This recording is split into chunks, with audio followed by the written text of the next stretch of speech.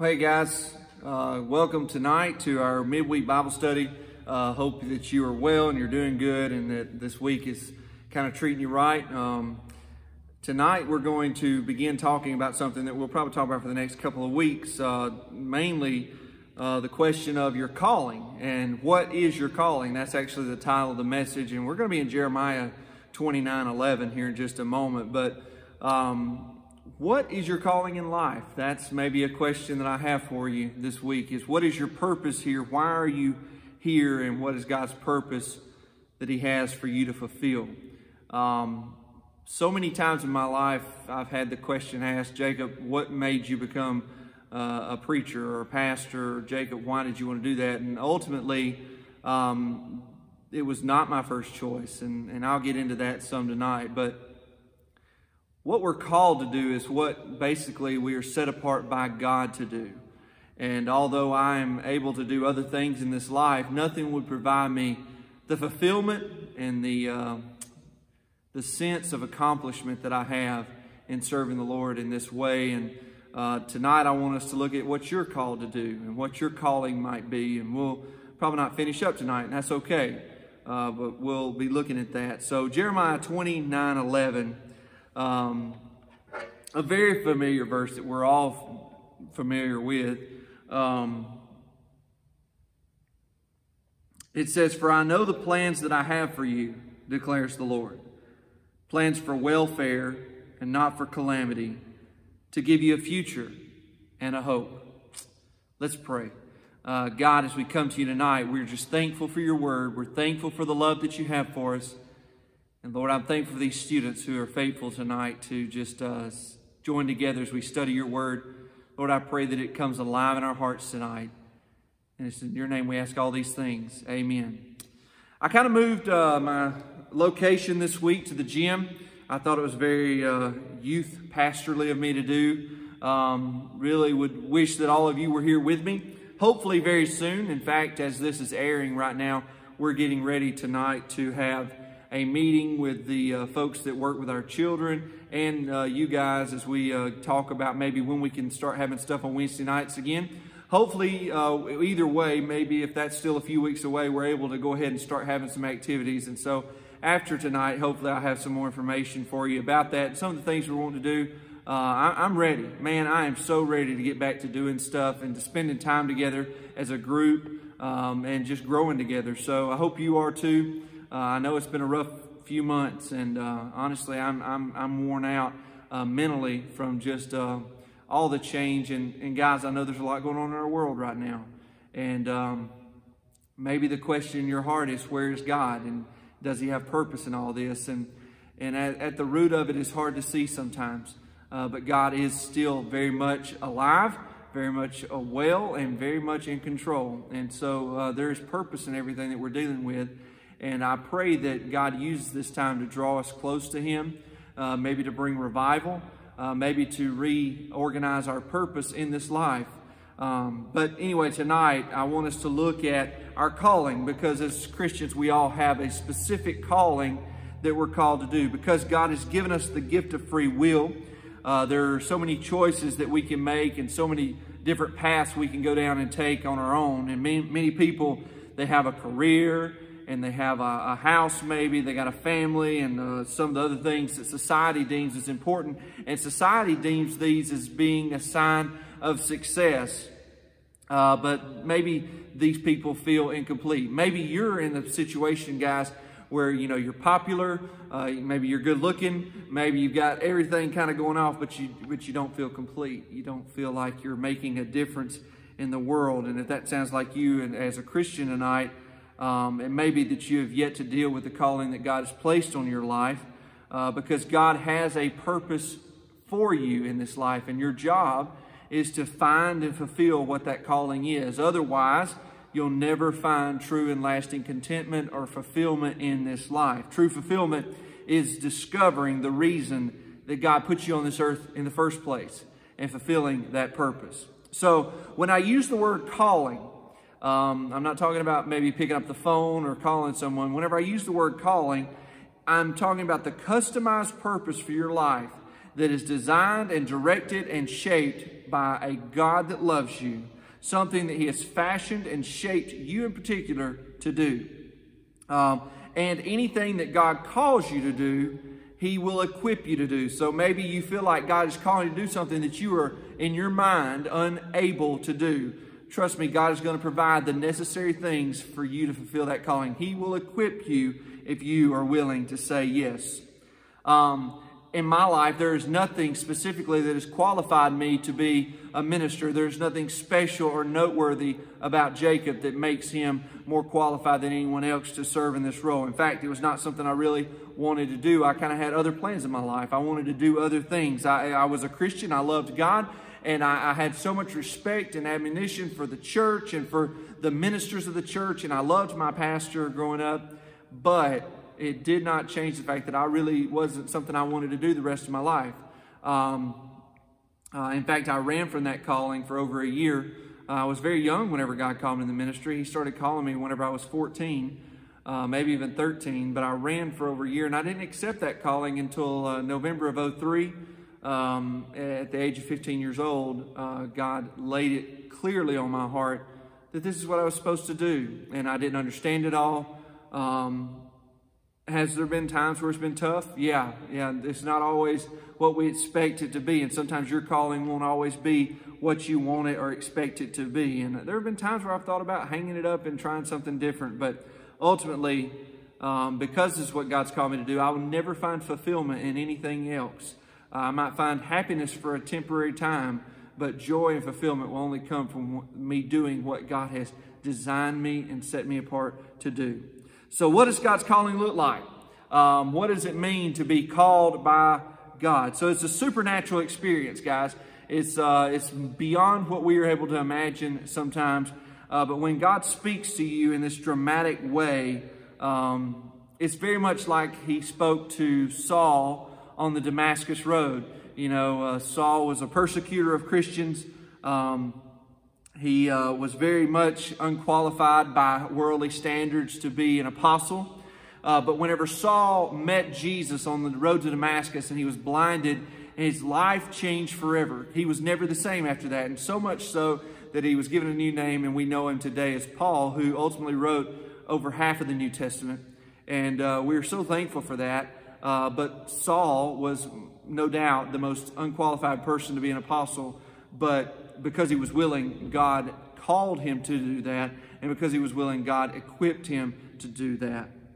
Um, so you may experience a dramatic experience like Saul did whenever he became Paul, uh, but it doesn't always appear that way. And it doesn't always come to us that way like it did in biblical days, mainly because how God speaks to us today is very different than it was back then. Today, he speaks to us through the Holy Spirit. And so, for most of us, our calling is revealed whenever we spend time searching through the Word for what He has for us to hear, and we spend time in prayer, and the Holy Spirit impresses upon our heart the will of God. And uh, then through that, oftentimes it will be accompanied by confirmation from the people that we're around and the things that we're doing. So, in this verse, uh, we see here so many things. Uh, I want to look at a few of them. Uh, first of all, you need to understand that your calling tonight is from God. Your calling is from God. Jeremiah 29 11 tells us that God's calling or his plan for us is, is from him and it is good. God's calling is from a good God. Ephesians 2:10 says, "For we are his workmanship, created in Christ Jesus for good works, which God prepared beforehand that we should walk in them. So, in this verse, in this generalized statement, we see uh, some things included in the Christian's uh, calling. First, we are to produce good works that bless and help others to glorify God. So, your calling is not just what you decide to do for a living, okay? It's more than that. Rather, it's your divinely pre planned service for God that is your response to the grace that has been shown to you in salvation. So if our calling comes from a good God and our goal is to produce good works, then our calling itself can be nothing but good. Our calling can be nothing but good. That's the provision of God's grace. So the first thing I want you to understand tonight is your calling comes from a good God. Second of all, your calling has a divine purpose. Psalm 33:11 says, "The counsel of the Lord stands forever, the plans of his heart to all generations." So, guys, everything that God created in the universe has a purpose behind it. Nothing would just exist for no reason. Uh, there is nothing that happened by accident. I want you to think about how we as humans, we require oxygen to live. So we breathe in oxygen and then we expel carbon dioxide. So it's amazing to me, not only that how our bodies work and how that system is designed to sustain life, but then we look at what else God did. Everything works in unison for a purpose. God also created plants and trees. And what do they do? Get this, they take in carbon dioxide and they turn it into oxygen. And so we breathe out what they need to survive. They breathe out what we need to survive. That's not by accident. That's not by happenstance. That's a God of order and a God that has designed things in such a way. So, uh, you think about things as simple as the honeybee, but without the honeybee, it would be hard for the human race to survive. Guys, God left no detail out whenever He designed this world, okay? And because of that, He also, whenever He designed us, the crown of His creation, we were no different. He made within us a desire and a drive to find purpose for our existence. We, we are not content with just existing. Genesis 1 28 says, And God blessed them, and God said to them, Be fruitful and multiply and fulfill, excuse me, and fill the earth and subdue it and have dominion over the fish of the sea and over the birds of the heaven and over every living thing that moves on the earth. So mankind's purpose tonight, guys, is to fulfill God's dominion over all the earth. So that's pretty, pretty amazing. But maybe you sit there tonight with this belief that you are different, that God may have purpose for some people, but there's no purpose for your life. Uh, God skipped over you when it came time to deal out that. Can I tell you, friends, tonight, if you're breathing, God has purpose for you. If you are alive and listening to the sound of my voice, God has a purpose for you. How do you know that, Jacob? Well, we look into the Word of God to find confirmation in these, in these matters. And when we look at Acts 13 36, uh, it says, Now when David, remember King David, pretty big guy in the Old Testament, had served God's purpose in his own generation, he fell asleep and he was buried with his ancestors and his body decayed. When God is finished with you, much like King David, you will cease to exist. You will no longer live. Whenever God was finished with David, he died. He no longer continued to live. So it's a great comfort to me, and it should be a great comfort to you tonight, that if you are alive, if you're still breathing, and we hope you all are, you have purpose. God's not finished with you yet.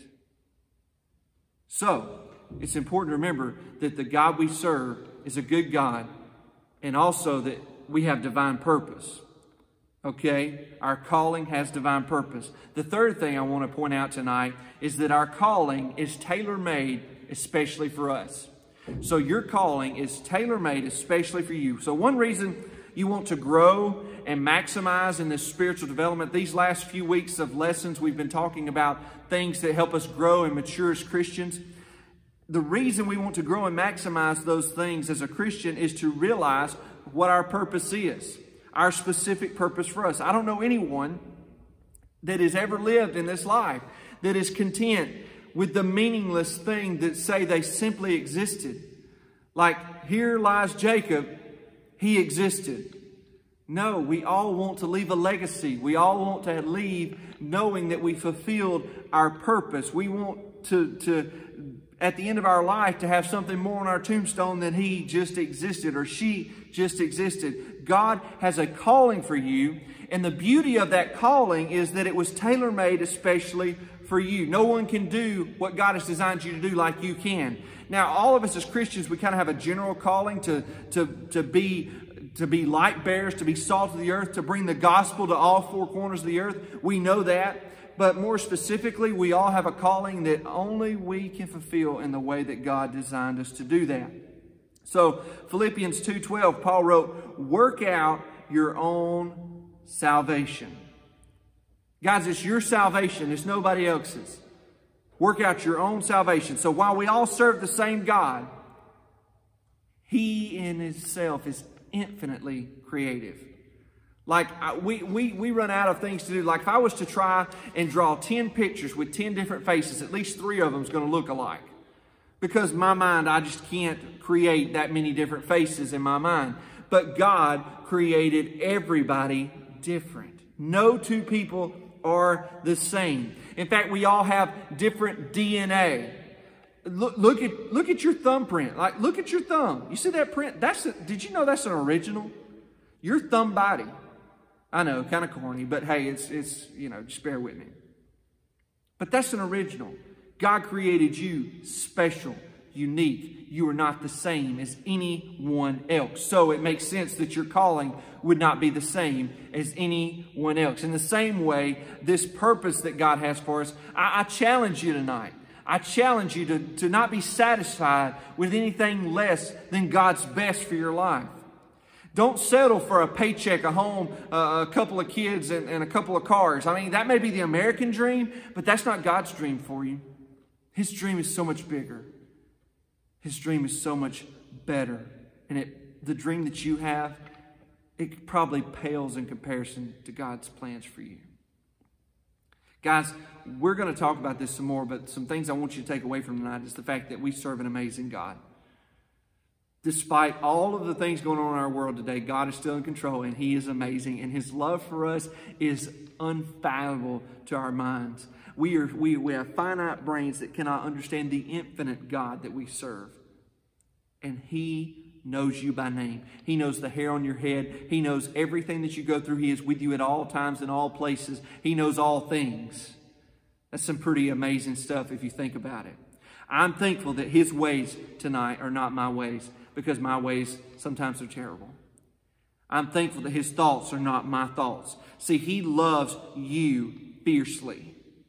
He loves you fiercely, and he has plans for you that we can only begin to imagine. And if you're willing to surrender your life to his will, he will use you mightily to be the hands and feet of Jesus, to be the church in these last days. Guys, I don't want you to settle for going back to the way things used to be. I want you to take a step forward and be who you are designed to be in Christ. It won't always be easy. It may be not always what you want to do, but you will always, always be glad that you did. Because everything that we do should be for our good and for His glory. And I'm thankful for that. Next week, we'll continue talking about this calling of what God's will is for our life and help discover how we can figure that out. So uh, I'm going to pray and close this out, and I hope uh, hope to have more information to you soon about some things we're going to do. I'm, I'm just pumped and ready to get some stuff going, and uh, and I hope to see you Sunday. So uh, let's pray. Father, uh, we come to you tonight. God, just so thankful that you love us specifically.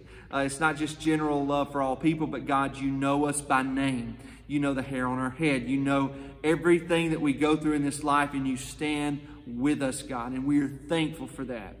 God, I pray that you would allow your word to speak into our life and it would be clear to us the will that you have for us. God, I pray that you would prepare us to be the hands and feet of you in these days. God, we love you so much. And we're thankful that you love us. It's in your name we pray all these things. Amen. Amen. Guys, love you so much. See you next time.